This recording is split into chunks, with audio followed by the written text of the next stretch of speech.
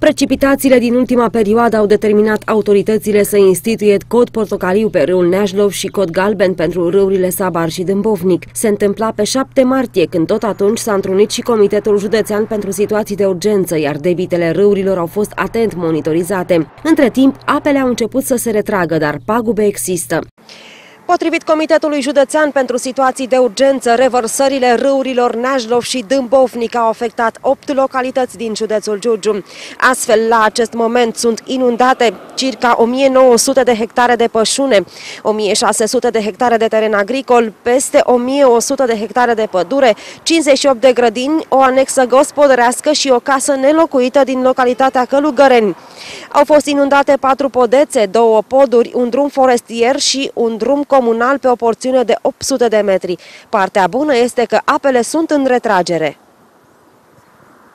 Localitatea Călugăreni este cea mai afectată, chiar dacă nu la fel de mult ca în alți ani. Aici Neajlovul a depășit cota de atenție, iar o mare parte din apă s-a revărsat pe câmp, în păduri și în grădinile oamenilor care au casele chiar lângă albia râului. Locuitorii spun că s-au obișnuit deja ca primăvara grădinile să le băltească, că despre un eventual dig care să le protejeze curțile nu se pune problema. Tot ei s-au opus pentru că au terenuri, iar unii au scos bani frumoși pe ele. E ceva normal, doamna, să vină, că așa vine mai mereu. Și dar am înțeles că sunt grădini inundate. Au fost foarte puține, foarte puține tereni inundabili care au afectat pe ăștia cu agricultura, dar nu pe noi. Noi foarte puțin pe aici. Deocamdată e mică, altă dată venea, uite, până mai încolo. Urcă pe șoseaua asta liniștit. Și acum e mare, dar așa, așa, așa, știi, adică e ceva normal. Înainte venea și mai tare. Au mai făcut diguri, au mai făcut ceva, nu?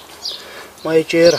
Tot la Călugăreni, o porțiune din drumul ce leagă localitatea de Hulubești s-a aflat sub ape o scurtă perioadă de timp. Noroc că debitele sunt în scădere, iar drumul a devenit practicabil. Bilanțul după revărsarea Neajlovului nu este îngrijorător pentru conducerea primăriei, care spune că în acest an a scăpat ușor. Au fost uh, inundate o suprafață de circa 400 de hectare cu teren arabil, uh, circa 700 de hectare uh, de izlaz, peste 400 de hectare de pădure, avem 50 de gospodării inundate, asta înseamnă că numai grădinile, o casă care este inundată, dar aici este mai problematic, avem un canal care preia apele pluviale din câmp și este exact ca o, mu, ca o groapă acolo unde este casa aceasta. O să încercăm în, în viitor să-l ajutăm pe cetățean să pună ceva pământ, piatră, să-i mai înălțăm terenul ca să nu mai poată să fie afectată casa. Sub apă se află și o porțiune a târgului din Călugăreni, dar fără a exista riscul de a fi închis în weekend.